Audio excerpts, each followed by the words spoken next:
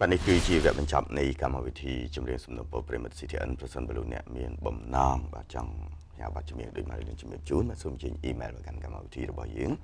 តាមរយៈអ៊ីមែល songrequest@ctn.com.kh បាទបាទសូមទូបាទ songrequest@ctn.com.kh ហើយនៅក្នុងវគ្គនេះបាទគឺជាវគ្គមួយចុងបញ្ចប់ដែលលោកអ្នកបានស្គាល់នៅប្រភពដើមនិងប្រវត្តិនៃបទចម្រៀងនីមួយៗដែលបកស្រាយដោយបងប្រុសសេងតារាបាទសូមជម្រាបបង បាទសូមជម្រាបសួរបងប្អូនទស្សនិកជនលោកតាលោកយាយនិងលោកពូអ្នកមីងទាំងអស់ដែលនិយមតាមដានបទចម្រៀងពីដើមជាទីរាប់អានបាទនៅសប្តាហ៍នេះខ្ញុំបាទសេងតារាបានវិលមកវិញទៀតហើយហើយក៏បាននាំយកនៅបទចម្រៀងពីរោះពីរោះមកអត្ថាធិប្បាយជូនផងដែរបាទបាទអរគុណបាទថ្ងៃនេះបងអូនគិតថាលើកយកបទចម្រៀងអ្វីដែរបាទនៅថ្ងៃនេះខ្ញុំបានជ្រើសរើសនៅចម្រៀងមួយបទបាទជាសំនៀងរបស់អ្នកស្រីរស់ស្រីសធា គឺបទចុតម៉ាយមច្ចរាជចុតម៉ាយមច្ចរាជវ៉ាវ សម្បត្តិរបស់មច្ចរាជបាទគេថាសម្បត្តិពិឃាតតែម្ដងពិឃាតសម្បត្តិនឹងផ្ញើមកគឺធ្វើឲ្យស្លាប់តែម្ដងបាទហេតុអីបងលើកយកបទហ្នឹងបាទដោយសារតែបទនេះជាបទមួយដែលបងប្អូនទូទៅនិយមស្ដាប់ជាបទមួយល្បីណាបាទគាត់ថានៅមានអ្នកស្ដាប់ជាច្រើនអត់ទាន់បានដឹងពីរឿងរ៉ាវនៃបទនេះដោយកាលពីសប្តាហ៍មុនអញ្ចឹងអឺក្រោយពីដែលខ្ញុំលើកបទកូឡាបកោះកែវរបស់លោកអិនយាយមកមកនិយាយហើយ មានប្រិមិត្តជាច្រើនគាត់ចុចទូរស័ព្ទមកសួរហើយមកថាសំដីនៅការភ្ញាក់អើលណាគាត់ថាអីមិននឹកស្មានថាបត់នោះគេថតយូរជាងសោះតែកន្លែងលោកអិនយេងជ្រៀងឡើងវិញថាអឺអោមលុបជ្រីក្រមដែលមុំចង់ទូងគាត់ពីដើមអត់សូវចាប់អារម្មណ៍ទេដល់ពេលខ្ញុំប្រាប់ទៅអូកន្លែងហ្នឹងអាក់បន្តិចមែនបាទអញ្ចឹងថាតាមរយៈនីតិនេះគឺបងប្អូនបានដឹងរឿងរ៉ាវច្រើនបងណាបាទទាំងប្រវត្តិបទចម្រៀងក៏ដូចជាអនុស្សាវរីយ៍នៅក្នុងការថតចម្រៀងផងដែរ បាទហើយចំពោះបទចិត្តម៉ាយម៉ាច់ជ្រាកនេះក៏មានរឿងរ៉ាវរបស់គេផងដែរអញ្ចឹងហើយបានជាខ្ញុំលើកមកនិយាយបាទដូចខ្ញុំបញ្ជាក់បាញ់មិញអញ្ចឹងបទនេះនរណាក៏ដឹងដែរថាជាសំនៀងរបស់អ្នកស្រីរស់សេរីសុធាបាទហើយម្ចាស់ស្នាដៃនិពន្ធនៃបទនេះមិនមែនជាកវីទូទៅដូចជាលោកម៉ាឡាពីគុំមិនឈឿនឬលោកអ៊ុយហេលទីបាទម្ចាស់ស្នាដៃនេះគឺលោកស៊ីនស៊ីសមុទ្របាទបាទហើយអ្នកសម្រួលតន្ត្រីគឺលោកហាសាឡនបាទបទនេះគឺថតជាថាស នៅអំឡុងឆ្នាំ1974ដើម្បីបញ្ចូលនៅក្នុងខ្សែភាពយន្តបទនេះគឺជាបទកុនណាគឺបញ្ចូលនៅក្នុងខ្សែភាពយន្តមួយឈ្មោះថារឿងចម្រៀងឥតព្រៀងទុកហើយដែលរឿងនេះគឺលោកស៊ីនស៊ីសមុទ្រជាអ្នកនិពន្ធរឿងផ្ទាល់ជាអ្នកដឹកនាំរឿងផ្ទាល់និងជាចាំងវាងផលិតកម្មផ្ទាល់ទៀតផងបាទអញ្ចឹងអ្វីដែលខ្ញុំចង់បង្ហាញគឺរឿងនេះចំណុចនេះហើយបាទព្រោះថាជាទូទៅយើង តែងតែឮថាគាត់ជាអ្នកចម្រៀងទេបាទឥឡូវពេលនេះបែរជាខ្លាចជាផលិតករភាពយន្តទៀតបាទអញ្ចឹងនៅក្នុងជីវិតរបស់គាត់គឺមានអាជីពច្រើនដែលយើងបានដឹងណាបាទតែនេះគាត់មិនមែនយកជាអាជីពទេផលិតករភាពយន្តណាបងបាទគាត់គាត់ថាដូចឆ្លៀតពេលទំនីងទៅគាត់មកថតកុនគេទៅបាទហើយចំពោះមូលហេតុសំខាន់សំខាន់ដែលនាំឲ្យគាត់ខ្លាយជាផលិតករភាពយន្តហ្នឹងអឺយើងពុំមានថាការអាងបញ្ជាក់អំពីនរណាមួយទេ គ្រាន់តែតាមការសន្និដ្ឋានរបស់ខ្ញុំមានប្រការ2ដែលគាត់ងាកមកថតកុននេះទីមួយដោយសារប្រហែលជាលោកស៊ីនស៊ីសមុទ្រគាត់មើលឃើញគេហៅថាសក្តានុពលនៃទីផ្សារភាពយន្តខ្មែរយើងចំនួននោះកំពុងតែមានការរីកចម្រើនណាបាទព្រោះថាកាលឆ្នាំ73 74នោះគឺផលិតកម្មកោតច្រើនជាងបាទយើងសុបាយហើយកំពុងសម្រុកក្នុងនេះថតកុនណាហើយលោកស៊ីនស៊ីសមុទ្រគាត់គិតថាបើសិនជាឆ្លៀតពេលលើថតគេដែរប្រហែលជាអាចមានហាងឆេងណាបាទ ព្រោះថាគាត់ហ្នឹងធ្លាប់មានស្នាដៃខាងច្រៀងបញ្ចូលក្នុងកុនហ្នឹងវាច្រើនអញ្ចឹងហើយក៏ឆ្លៀតពេលមកមានញឹកដែលសឹងតែរកថ្ងៃឈប់សម្រាកបានហ្នឹងមកនិពន្ធរឿងកុនហើយដឹកនាំថតកុនហ្នឹងហើយមូលហេតុមួយទៀតគឺប្រហែលជាគាត់ចង់យកឈ្មោះរបស់គាត់ជាអ្នកចម្រៀងល្បីឯងហ្នឹងតែឆ្លៀតណាយកឈ្មោះដែលគាត់ល្បីហ្នឹងយកមកដឹកនាំភាពយន្តអញ្ចឹងអាចតាក់ទាញទស្សនិកជនហ្នឹងឲ្យមើលកុនរបស់គាត់ច្រើនដូចចំនួននេះអញ្ចឹងអ្នកចម្រៀងល្បីល្បីគេហៅថតកុនហ្នឹងទៅ ដើម្បីយោងវិជាប្រតិភិបនៃរឿងភាពយន្តរបស់គីអញ្ចឹងលោកស៊ីនស៊ីសមុទ្រគាត់ប្រហែលជាមានមូលហេតុពីរយ៉ាងហ្នឹងដែលគាត់ងាកបន្ថត់កុនដោយសារតែឃើញទីផ្សារភាពយន្តកើនច្រើនហើយទីមួយគាត់ចង់យកឈ្មោះរបស់គាត់មកយោងភាពយន្តរបស់គាត់អញ្ចឹងហើយបានជាគាត់និពន្ធរឿងចម្រៀងអត់ព្រៀងទុកហ្នឹងហើយថតនៅឆ្នាំ1974កាលហ្នឹងគាត់បានដាក់ឈ្មោះផលិតកម្មគាត់ថាផលិតកម្មអន្ត្រីភាពយន្តបាទបាទហើយនៅក្នុងភាពយន្តហ្នឹងកាលហ្នឹងមានចម្រៀងចំនួន4បទដែលលោកស៊ីនស៊ីសមុទ្រគាត់បានបញ្ចូលបទទី1គឺបទ ព្រិលភ្នែកអស់ហើយដែលគាត់ច្រៀងខ្លួនឯងណាមកដល់ដីក្រុងសបាយក្រៃបាទហើយបទទី2គឺបទចម្រៀងឥតព្រៀងទុកតែម្ដងដែលបច្ចុប្បន្នគេនិយមហៅថាបទច័ន្ទធូនោះច័ន្ទធូអូឡោបុផានោះណាបាទហើយគាត់ច្រៀងដែរហើយបទទី3គឺបទខ្លាចក្លិនច័ន្ទធូបាទបាទដែលលោកច្រៀងរួមគ្នាជាមួយអ្នកស្រីរស់ស្រីសុធាហើយនឹងបទទី4គឺចុតម៉ាយមកជ្រាបនឹងឯងបាទអ្នកស្រីរស់ស្រីសុធាច្រៀងម្នាក់ឯងបាទហើយរឿងនេះអឺ ការដែលគាត់ថតនោះគឺគាត់បានអញ្ជើញតារាភាពយន្តល្បីល្បីៗមកសម្ដែងពីររូបគឺលោកជីយុទ្ធថនបាទជាតួឯកប្រុសហើយនឹងអ្នកស្រីទឹកវិជ្ជរាដានីភរិយាលោកពេជ្រសលឿនដែលជាតន្ត្រីករត្រង់ប៉ែតហ្នឹងជាតួឯកស្រីបាទហើយក្រៅពីហ្នឹងគាត់បានអញ្ជើញអឺផលិតអឺតន្ត្រីករមួយរូបទៀតគឺលោកហាសាឡនក៏សម្ដែងដែរបាទហើយអ្នកចម្រៀងល្បីឯកផ្នែកស្ត្រីក៏សម្ដែងដែរគឺអ្នកស្រីរស់សេរីសុធានឹងឯងក៏សម្ដែងក្នុងរឿងហ្នឹងដែរបាទហើយគាត់សម្ដែងជាតួរង បាទអឺខ្លឹមសារនៃរឿងហ្នឹងគឺអ្នកស្រីរស់សេរីសុធាគាត់ដើរតួជាប្អូនជីដូនមួយរបស់លោកជាយុទ្ធថនបាទហើយលួចស្រឡាញ់លោកជាយុទ្ធថនបាទតែលោកជាថនអត់ស្រឡាញ់វិញទេព្រោះថាគាត់មានគូស្នេហ៍រួចទៅហើយគឺអ្នកស្រីទឹកវិជ្ជរាដានីហ្នឹងបាទអញ្ចឹងហើយបានជាអ្នកស្រីរស់សេរីធាគាត់គេថាបង្ហាញអំពីទឹកចិត្តរបស់គាត់ចំពោះលោកជាថនហ្នឹងលោកជាថនហ្នឹងគាត់យល់បាទអញ្ចឹងហើយបានជាគាត់សរសេរសម្បត្តិផ្ញើឲ្យរស់សេរីធាហ្នឹងបាទថាបងមិនអាចឆ្លាញ់អូនឯងបានទីព្រោះថាយើងហើយ ជាបងប្អូនជាដូនមួយគ្នាវិគៀកពេកបាទអញ្ចឹងឆ្លាញ់ទៅវាអាចឲ្យមានរឿងវែងឆ្ងាយណាហើយមួយទៀតគឺគាត់ប្រាប់ត្រង់ត្រង់តែម្ដងថាគាត់នឹងមានម្ចាស់ចិត្តរួចទៅហើយអញ្ចឹងកុំរងចាំគាត់អីបាទអញ្ចឹងហើយបានជាអានសម្បត្តិហ្នឹងអឺបានជាអានសម្បត្តិហើយគាត់ច្រៀងបទចុតម៉ាយម៉ាច់ជ្រីកហ្នឹងអញ្ចឹងន័យថាសម្បត្តិដែលលោកជាថនផ្ញើមកបែបបីដូចជាសម្បត្តិវិឃាតបីដូងគាត់ខ្លួនគាត់ទេណាបាទគេថាស្នេហា គេថាជំងឺធម្មតាវាមានថ្នាំព្យាបាលបាទតែស្នេហាវាគ្មានថ្នាំព្យាបាលទេនេះអញ្ចឹងហើយបានជាអឺ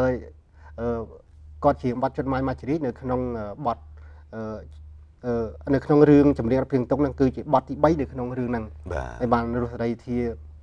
បាយពីជាថនទៅគាត់មានបទចុងក្រោយគឺខ្លាចភ្លេងចន្ទធូពេលដែលលោកជាថនជួបគ្នាជាមួយអ្នកស្រីទឹកវជ្ជរាដានីបាទហើយអ្នកស្រីរស់សេរីធានៅក្នុងរឿងហ្នឹងតែថ្មីត្បិតតែលោកជាថនអត់ស្រឡាញ់ក៏ដោយ ហើយតែគាត់នៅតែតាមជួយឈឺឆ្អាលបងជីដូនមួយនឹងរហូតណាបាទបាទហើយចុងក្រោយមានជនអន្តពាលមួយក្រុមគេតាមសម្លាប់ជាយុទ្ធថនបាទអញ្ចឹងទៅទាញកំភ្លើងទៅបាញ់ជាយុទ្ធថននោះហើយអ្នកស្រីរស់សេរីធាគាត់ទៅរងគ្រាប់ជំនួសអញ្ចឹងគាត់ក៏ស្លាប់តែម្ដងនៅនៅរឿងចុងក្រោយនោះណាបាទនេះជារឿងនៃអឺខ្លឹមសាររឿងនៃបទចម្រៀងឥតព្រៀងទុកអឺនៃរឿងចម្រៀងព្រៀងទុកហើយនឹងបទចិត្តម៉ាញ់មាច់រាជដែលលោកស៊ីនស៊ីសមុទ្រនិពន្ធឲ្យអ្នកស្រីរស់សេរីធាច្រៀងបាទហើយបទនេះក្រៅពីអឺ សំឡេងនំអុយនំអាយរបស់អ្នកស្រីរស់សេរីធាគឺនៅមានសំឡេងយូឡុងរបស់លោកហាសាឡនកូតអមជាមួយផងដែរបើសិនជាអ្នកដែលបានទស្សនាខ្សែភាពយន្តហ្នឹងទៅដល់ឈុតហ្នឹងប្រកាសជាយំបាទហើយអឺលោកពូអ្នកមីងចំនួនដើមដែលគាត់ធ្លាប់បានទស្សនាខ្សែភាពយន្តហ្នឹងគាត់ប្រាប់ខ្ញុំថារឿងហ្នឹងកាលហ្នឹងមានទស្សនិកជនចូលមើលច្រើនណាស់ព្រោះថាគេចង់ដឹង ព្រោះថាពីដើមមកគេដឹងថាលោកស៊ីនស៊ីមុតជាអ្នកចម្រៀងបាទអញ្ចឹងពេលគាត់មកថតគាត់ហ្នឹងវាមានទីកសលយ៉ាងណានេះចំណុចមួយមួយទៀតគេចង់ឃើញអ្នកស្រីរស់ស្រីធាបាទសម្ដែងក្នុងកុនព្រោះថាធ្លាប់តែឮច្រៀងដែរសំឡេងដល់ពេលមកថតណាដល់ពេលមកថតគាត់វាល្អយ៉ាងណាបាទបាទអញ្ចឹងហើយបានជាភាពយន្តហ្នឹងគឺតាក់ទាញទស្សនិកជនមែនទែនឆ្នាំ74ហ្នឹងហើយអឺបន្ទាប់ពីប្រចាំងនៅភ្នំពេញហើយលោក ស៊ីនស៊ីសមុទ្រយករឿងហ្នឹងទៅប្រចាំងលក់សម្បត្តិតាមខេត្តទៀតណាបាទហើយមុនពេលប្រចាំងម្ដងម្ដងគឺគាត់ឲ្យក្រុមតន្ត្រីរបស់គាត់កាលហ្នឹងគាត់បានបង្កើតក្រុមតន្ត្រីមួយសម្រាប់ច្រៀងអមជាមួយនឹងការបញ្ចាំងភាពយន្តបាទកាលហ្នឹងគាត់ក៏ទៅច្រៀងរស់ស្រីធាក៏គាត់ទៅច្រៀងលោកអឹងនារីក៏ទៅច្រៀងលោកវ៉ាសវីក៏ទៅច្រៀងឲ្យតែមុនបើកប្រចាំងតាមខេត្តហ្នឹងគឺលោកស៊ីនស៊ីសមុទ្ររស់ស្រីធាអឹងនារីគាត់ចេញមកច្រៀងណាបាទបាទអញ្ចឹងហើយបានជាខ្សែភាពយន្តហ្នឹងគឺទទួលបាននូវការចាប់អារម្មណ៍ច្រើនពីបងប្អូនទស្សនិកជន តែជាការសោកស្ដាយរឿងហ្នឹងបានបាត់បង់ទៅហើយនៅសម័យបំពតបាទបាទបើយើងបើសិនជារឿងនៅសល់យើងមានអាចអាចមានភ័ព្វវាសនាឃើញអ្នកស្រីលោកស្រីធាសម្ដែងជាមួយលោកហាសាឡនក៏ដូចជាលោកជាយថនហើយនៅលើកញ្ចក់ទូរទស្សន៍នេះគឺជារូបអាហ្វីសកុនដែលគេយកមកធ្វើជាសម្បកថាសបាទបាទអរគុណច្រើនបាទដូច្នេះបាទសូមអញ្ជើញតាមដានទស្សនាដូចតទៅ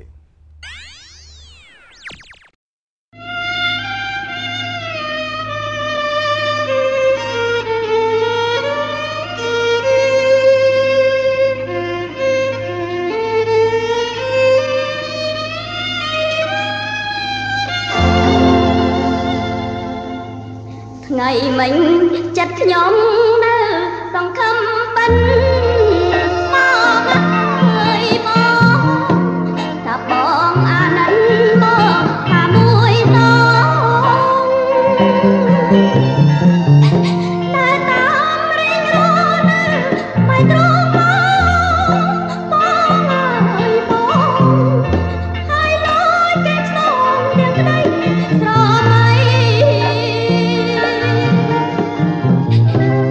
វិន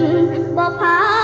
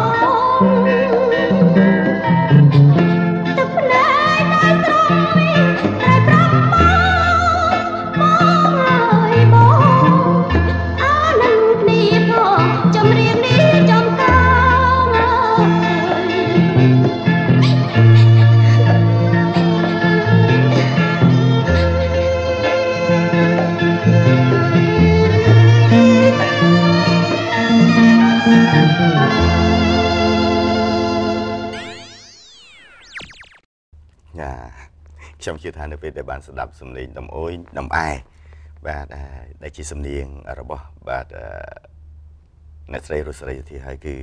ធ្វើឲ្យលោកអ៊ំលពូអ្នកមីងមួយចំនួននេះក៏ធ្លាប់ទស្សនាខ្សែភាពយន្តរឿងចម្រៀងអត់ព្រៀងទុកហ្នឹងណាបាទគាត់នឹកឃើញរឿងដើមរបស់គាត់បាទនឹកឃើញរហូតដល់អូកាលហ្នឹងបានបជាតិទិញសម្បុតបានអីណា អ្នកខ្លះគាត់ថាអូគាត់តែចេញថ្ងៃដំបូងបានមើលតាំងថ្ងៃដំបូងអីចឹងណានឹកឃើញរឿងដើមមកអ្នកខ្លះថាអឺទៅមួយអាទិត្យក្រោយអត់បានមើលរឿងសបាយមនុស្សអីចឹងណាបាទអីអ្នកខ្លះវាយធ្លាប់និយាយថាអីដល់ឈុតហ្នឹងអញចាំខ្ញុំធ្លាប់យំអាឈុតចិត្តវាយវាច់ជ្រាបពីឡើយគាត់ជាយើងឲ្យពេលរស់ស្រីធាគាត់ស្លាប់ហ្នឹងណាបាទបាទគាត់ជានឹកឃើញរឿងរ៉ាវអំពីកុមារភាពឡើងវិញបាទបាទអរគុណបងប្អូនដល់បញ្ចប់ហើយមានអ្វីបន្ថែមទេ បាទអញ្ចឹងតាមរយៈបទនេះខ្ញុំជឿថាបងប្អូនទាំងអស់ប្រកាសជាសប្បាយចិត្តពេញចិត្តហើយក៏បានអឺដឹងអំពីរឿងរ៉ាវនៃបទចម្រៀងដែរនេះអ្នកដែលមិនធ្លាប់បានដឹងពីមុនមកបាទតែចំពោះអ្នកអឺលោកពូអ្នកមីងដែលធ្លាប់បានដឹងប្រកាសជាអាចនឹកឃើញឡើងវិញដល់អនុស្សាវរីយ៍បាទហើយអញ្ចឹងបានជាយើងឃើញហើយថាលោកស៊ីនស៊ីសមុទ្រក្រៅពីជាអ្នកចម្រៀងល្បីឯងគាត់ក៏ជាអ្នកនិពន្ធបទភ្លេងអ្នកនិពន្ធទំនុកច្រៀងស្វ័យប្រវត្តិបាទជាតន្ត្រីករម៉ងលលីនដ៏ជំនាញហើយ ឆ្នាំ74ក៏ក្លាយជាផលិតករភាពយន្តទៀតផងបាទបាទអាជីវកម្មមានច្រើនហើយសូមបញ្ជាក់ថាលោកស៊ីនស៊ីសមុទ្រគឺជាអ្នកចម្រៀងមួយរូបដែលយកចិត្តទុកដាក់មែនទែនចំពោះអាជីពរបស់គាត់គាត់ធ្វើការងារអ្វីក៏ដោយគឺគាត់ផ្ចិតផ្ចង់មែនទែនបាទសំបីតែព្រឹកឡើងគឺគាត់ទៅលើកអាទែហើយតែលើកមិនមែនយកសាច់ដុំទេគាត់លើកដើម្បីឲ្យសម្លេងរបស់គាត់ណាឲ្យសម្លេងរបស់គាត់នឹងអាចស្រែកបានវែងហើយជួនកាលគាត់អង្គុយនៅក្នុងពីងណាអាទឹកទៅតម្កហ្នឹងគាត់អង្គុយឲ្យ ឲ្យគាត់ស្រែកណាបាទអានេះពៅសិភោមរៀនគាត់ព្រលឹមឡើងគឺឲ្យចូលត្រាំក្នុងពីងទឹកហ៎ដើម្បីឲ្យសួរគាត់បើកណាបាទអញ្ចឹងគាត់អាចស្រែកទៅសម្លេងគាត់កាន់តែស្រួយកាន់តែពីរោះបាទនៅមានរឿងរ៉ាវជាច្រើនទៀតអំពីអធិរិសម្លេងមាសរូបនេះមានឱកាសក្រោយបន្តបន្តទៀតខ្ញុំនឹងលើកមកបង្ហាញជាបន្តបន្ទាប់ហើយចំពោះប្រវត្តិរបស់លោកតាមូលបងប្អូនអាចអឺមើលបានសភៅមាសស្រមនគរភាគទី1ដែលខ្ញុំបានសរសេររួចហើយទាំងប្រវត្តិរបស់គាត់ទាំងរឿងចម្រៀងអត់ព្រៀងទុកនេះផងដែរបានអញ្ចឹងចុងក្រោយសូមឧទ្ទិសបទអឺ ចុតម៉ាយមាច់ជ្រីនេះជូនដល់មាននឹងខណ្ឌអ្នកស្រីរស់សេរីធាផងដែលជាម្ចាស់សម្លេងនិងមាននឹងខណ្ឌលោកស៊ីនស៊ីសមុទ្រដែលជាម្ចាស់ស្នាដៃនិពន្ធបទភ្លេងនិងទំនុកច្រៀងរួមទាំងមាននឹងខណ្ឌរបស់លោកហាសាឡនដែលជាម្ចាស់យូឡុងនៅក្នុងបទនេះនិងជាអ្នកសម្រួលតន្ត្រីផងដែរបាទអរគុណបាទលោកលោកស្រីអ្នកនាងកញ្ញាកម្មវិធីនឹងវិលមកជួបលោកអ្នកជាថ្មីនៅសប្តាហ៍ក្រោយក្នុងម៉ោងនឹងពេលដដែលពេលនេះខ្ញុំបាទនឹងបងសេងតារាសូមអរគុណសូមជម្រាបលា